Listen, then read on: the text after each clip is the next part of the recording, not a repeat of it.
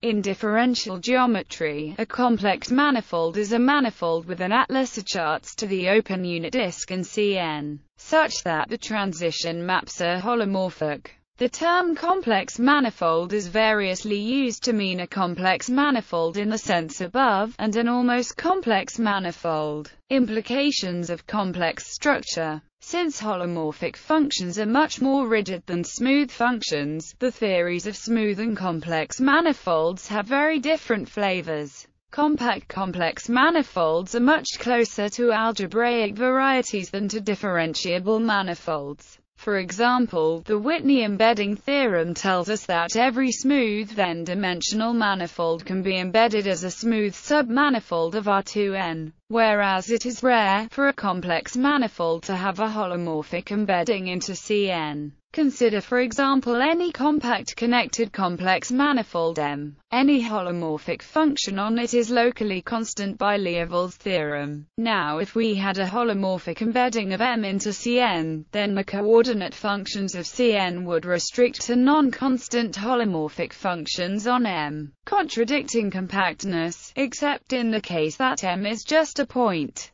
Complex manifolds that can be embedded in Cn are called Stein manifolds and form a very special class of manifolds including, for example, smooth complex affine algebraic varieties. The classification of complex manifolds is much more subtle than that of differentiable manifolds. For example, while in dimensions other than 4, a given topological manifold has at most finitely many smooth structures. A topological manifold supporting a complex structure can and often does support uncountably many complex structures. Riemann surfaces, two-dimensional manifolds equipped with a complex structure, which are topologically classified by the genus, are an important example of this phenomenon. The set of complex structures on a given orientable surface, modular biholomorphic equivalence, itself forms a complex algebraic variety called a moduli space, the structure of which remains an area of active research. Since the transition maps between charts are biholomorphic, complex manifolds are, in particular,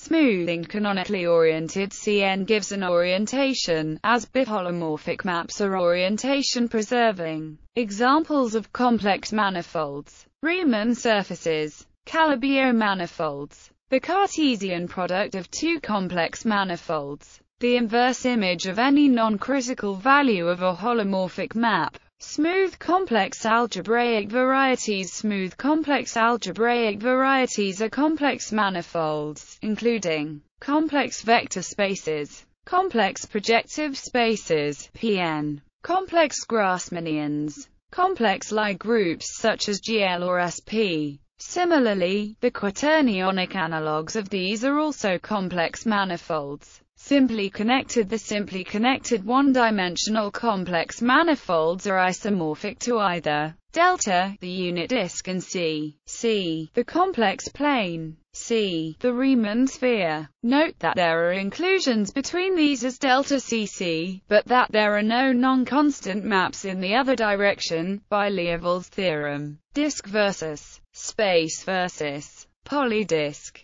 The following spaces are different as complex manifolds, demonstrating the more rigid geometric character of complex manifolds. Complex space Cn, the unit disk or open ball, the polydisk, almost complex structures. An almost complex structure on a real manifold is a GL structure, that is, the tangent bundle is equipped with a linear complex structure. Concretely, this is an endomorphism of the tangent bundle whose square is minus i. This endomorphism is analogous to multiplication by the imaginary number i, and is denoted J. An almost complex manifold is necessarily even-dimensional. An almost complex structure is weaker than a complex structure. Any complex manifold has an almost complex structure, but not every almost complex structure comes from a complex structure. Note that every even-dimensional real manifold has an almost complex structure defined locally from the local coordinate chart. The question is whether this complex structure can be defined globally. An almost complex structure that comes from a complex structure is called integrable, and when one wishes to specify a complex structure as opposed to an almost complex structure, one says an integrable complex structure. For integrable complex structures the so-called Nijenhuis tensor vanishes. This tensor is defined on pairs of vector fields x, y by for example, the six-dimensional sphere S6 has a natural most complex structure arising from the fact that it is the orthogonal complement of I in the unit sphere of the octonions. But this is not a complex structure. Using an almost complex structure we can make sense of holomorphic maps and ask about the existence of holomorphic coordinates on the manifold. The existence of holomorphic coordinates is equivalent to saying the manifold is complex. Tensoring the tangent bundle with the complex numbers we get the complexified tangent bundle, on which multiplication by complex numbers makes sense. The eigenvalues of an almost complex structure are plus or minus i and the eigenspaces form subbundles denoted by T0, 1m and T1, 0m. The Newlander-Nirenberg theorem shows that an almost complex structure is actually a complex structure precisely when these subbundles are involutive, i.e., closed under the Lie bracket of vector fields, and such an almost complex structure is called integrable. Kähler and Calabi-Yau manifolds. One can define an analog of a Riemannian metric for complex manifolds, called a Hermitian metric. Like a Riemannian metric, a Hermitian metric consists of a smoothly varying, positive definite inner products on the tangent bundle, which is Hermitian with respect to the complex structure on the tangent space at each point. As in the Riemannian case, such metrics always exist in abundance on any complex manifold.